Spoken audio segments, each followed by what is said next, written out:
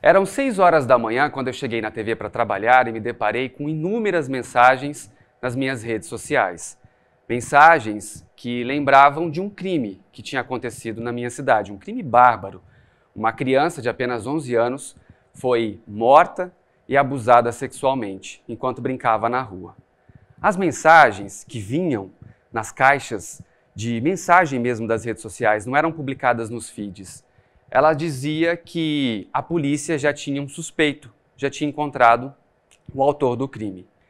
E a mensagem deixava muito claro: foi ele. Tinha a foto do homem, o nome desse homem e também o bairro onde ele morava. Quando eu vi essas mensagens, na hora eu fiquei até desesperado. Falei: meu Deus, eu já imaginei o que isso poderia causar na vida desse homem que estava sendo acusado de ter matado e abusado sexualmente de uma menina de apenas 11 anos. Imediatamente, liguei para o delegado. Eu tinha cerca de 20 minutos mais ou menos para entrar ao vivo em rede estadual e falar para as pessoas sobre essa notícia, porque todos os dias de manhã a gente atualizava o caso, porque é um caso de muita repercussão, inclusive repercussão nacional. Quando eu liguei para o delegado, passei as informações que estavam ali naquele, naquele texto, naquela mensagem, passei o nome do suspeito, que as pessoas falavam que a polícia já tinha identificado, passei todos os dados dele ali, o delegado, na hora, falou para mim: Fábio, nós não estamos investigando esse homem. Ele não é suspeito de nenhum crime, não sei nem de quem se trata. Nós temos dois suspeitos, mas nenhum desses dois suspeitos é esse homem que você está me falando. Na hora, eu desliguei o telefone, agradeci o delegado e eu tinha ali uns 3, 4 minutos somente para entrar ao vivo em rede estadual e dar a notícia para todo o estado. E assim eu fiz. Falei para as pessoas que aquela mensagem que estava circulando nas redes sociais não era verdadeira, era mentira. Esse homem não era investigado pela polícia, o delegado não sabia nem quem ele era. E aí, pobre jornalista, achando que conseguiria vencer a velocidade da internet, vencer a velocidade dos cliques. Era tarde demais. As pessoas do bairro já tinham localizado o suspeito e já fizeram justiça com as próprias mãos. Isso mesmo, fizeram justiça com as próprias mãos.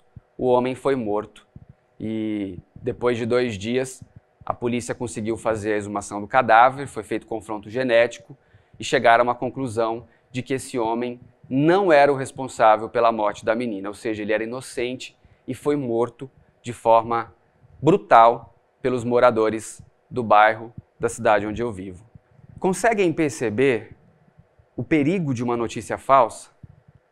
Uma pessoa foi morta. E é justamente isso que as fake news fazem elas tiram vidas, tiram direitos, destroem sonhos e até mesmo enfraquece a democracia. E é o que está acontecendo em todo o mundo. As notícias falsas, elas são criadas geralmente para tentar destruir uma imagem, para tentar destruir uma pessoa mesmo, ou até mesmo uma corporação. E quando elas se espalham, elas conseguem atingir seu objetivo, elas conseguem fazer isso. O mundo inteiro hoje vive uma crise das fake news. Nós recebemos diariamente mensagens que são falsas, mas a gente precisa avaliar melhor esse material e saber se a gente pode compartilhá-lo ou não. O mundo inteiro está sofrendo com isso. Nos Estados Unidos, até mesmo o presidente do país, Donald Trump, está sendo acusado de espalhar notícias falsas sobre o novo coronavírus. Ele é acusado de tentar enfraquecer a doença, o poder devastador da doença. Aqui no Brasil não é diferente.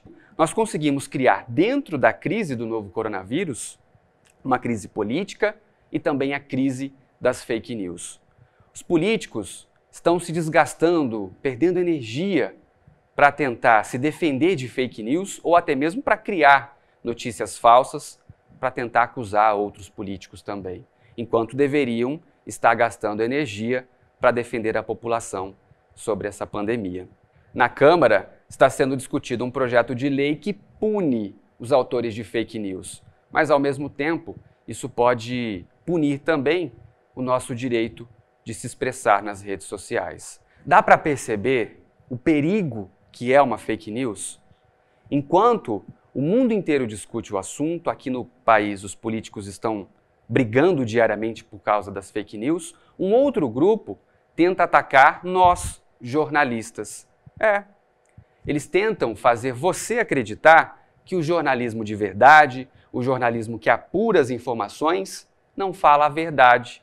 E sim, essas fake news que circulam por aí estão falando a verdade. Agora a gente tenta sempre pensar, nós como jornalistas, qual o motivo? Por que querem enfraquecer a imprensa? Qual a razão disso tudo?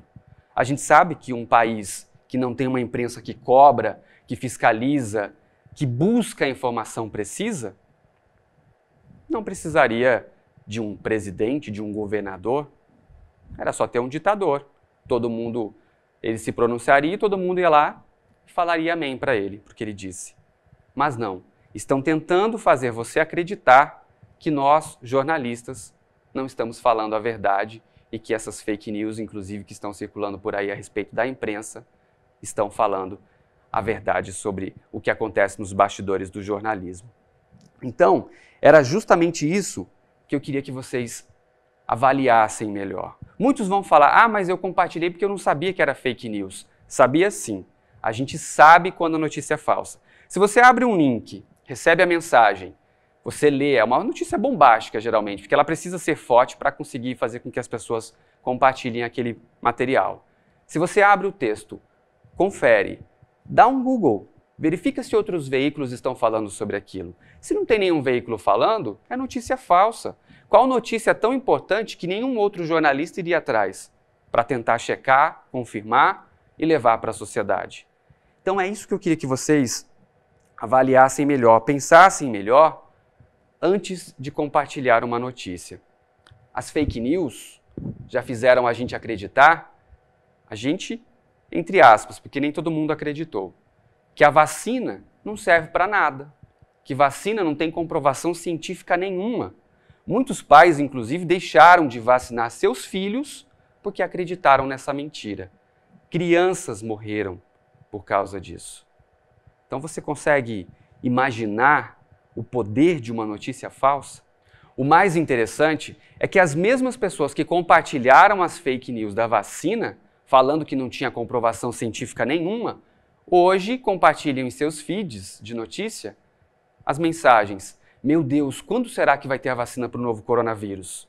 Eu lembro, porque eu lembro de algumas pessoas que compartilharam fake news da vacina e hoje estão escrevendo isso nas redes sociais. Agora, dá para entender se você não acreditava na vacina, se ela não tinha comprovação científica, você compartilhou isso na sua rede social. Por que, que agora você está preocupado com a notícia da vacina do novo coronavírus? Então a gente tem que sempre avaliar o que, que a gente está falando nas redes sociais, o que, que a gente está compartilhando, o que, que a gente está fazendo as pessoas acreditarem. Às vezes você manda para sua mãe, sua mãe manda para mais um, esse mais um manda para mais dois, e a gente cria uma rede e um ciclo de notícias falsas. E as notícias falsas, elas só existem porque a gente consome. É o mesmo caso dos furtos e roubos. Só existem ou poderiam ser muito menores se as pessoas não comprassem produtos sem nota fiscal, de origem duvidosa. Então, nós alimentamos essa indústria que movimenta milhões de reais todos os anos. E aí eu queria que você só se relembrasse daquele caso que eu contei no início da nossa conversa aqui do senhor, que foi morto injustamente porque compartilharam uma notícia falsa contra ele. E depois a polícia comprovou que ele não era o autor do crime. Queria que você lembrasse desse caso, para você entender o poder de uma notícia falsa. Talvez você não tenha compartilhado essa notícia. Talvez você não tenha feito parte dessa morte. Mas pare e pense: quantas notícias falsas você pode ter compartilhado na sua vida? Quantos cliques você pode ter dado e destruído pessoas.